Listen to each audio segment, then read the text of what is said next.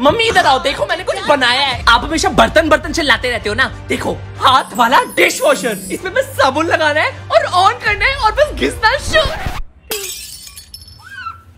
अरे, पूरी रसोई में फैला ये विम तेरा बाल साफ़ करेगा, है? और करंट तो लगेगा ही नहीं, है ना? तू तो चाहता ही है तेरी माँ चिपक जाए बिजली से। सॉकेट में हाथ दे देती हूँ ना? तूने किससे पूछ के मेरा हैंड ब्लेंडर तोड़ा? बनती चीज़ बाद में मैंने तोड़ दी तू। इसे इसके लिए दिलाई थी तेरे को, जेई की कोचिंग है। दो मिनट में ठीक करके दे मेरे